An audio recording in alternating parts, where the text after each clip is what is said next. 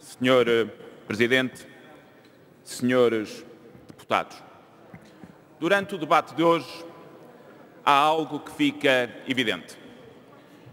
O Partido Socialista considera, quis debater o estado do sistema financeiro português.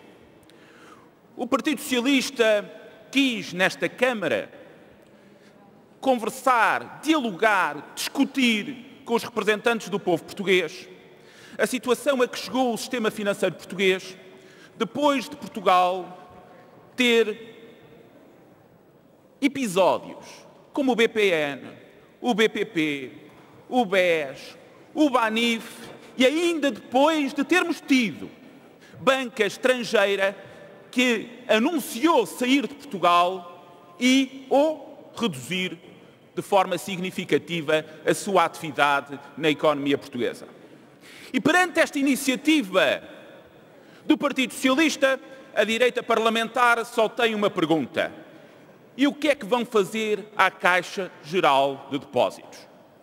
Mas podem começar por responder à vossa própria pergunta, perguntando ao Dr. Pedro Passos Coelho e perguntando-lhe o seguinte: Dr. Pedro Passos Coelho, em 2015, dizia que queria receber 900 milhões de euros de cocos.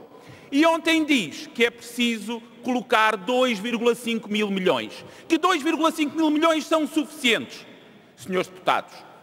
A diferença são 3,4 mil milhões de euros, praticamente 2% do PIB. E a resposta à vossa pergunta foi dada pelo vosso próprio líder.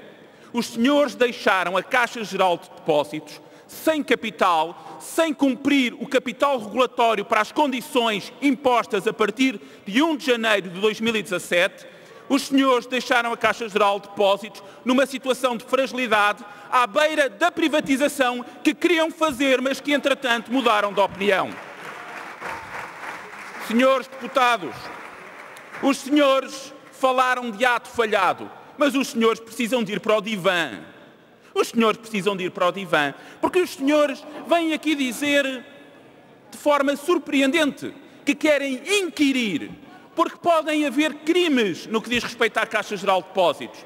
Crimes. Mas os senhores foram governo quatro anos. Os senhores foram governo quatro anos e querem uma auditoria e uma comissão de inquérito quando foram tutela durante quatro anos e este Parlamento não conheceu e não conhece, já agora, nenhuma prática na Caixa Geral de Depósitos que mereça ser objeto de uma comissão de inquérito. Os senhores precisam de ir ao divã também por outra razão. É porque querem fazer um corte na história. Querem começar a resolver os problemas do sistema financeiro a partir de 26 de novembro de 2015, como se entre 2011 e 2015 nada tivesse acontecido neste país. Foram quatro anos. E quatro anos depois, os contribuintes continuam a pagar a fatura. Mas a fatura também das vossas opções políticas. Porque quando nesta Câmara o Primeiro-Ministro Pedro Passos Coelho disse que a receita era austeridade, custo custar, a receita da austeridade, custo custar, Senhor Deputado Miguel Morgado, quer ouvir? Quer ouvir? Quer ouvir? Não está a gostar do que está a ouvir? Sr. Deputado, a receita da austeridade custo custar, anunciada aqui, nesta tribuna do Parlamento, nesta tribuna do Governo pelo Dr. Pedro Passos Coelho, sabem qual é o significado? Mais insolvências, mais falência de empresas, mais falência de, de famílias, mais crédito mal parado, mais crédito em risco, mais problemas nos bancos.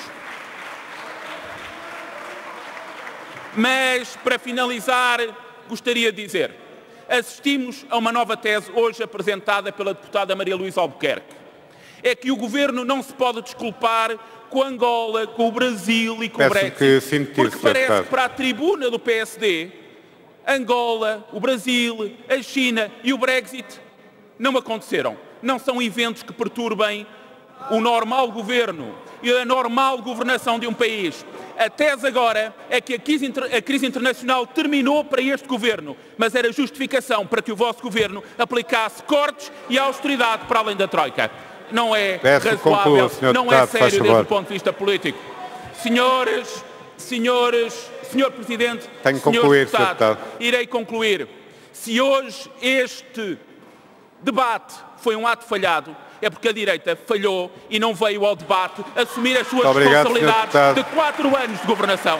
Tenho dito. Muito obrigado.